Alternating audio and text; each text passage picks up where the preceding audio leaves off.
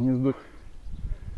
Первый раз вижу в наших местах такую конструкцию, что значит вроде ездил много, но в такие места не заезжал.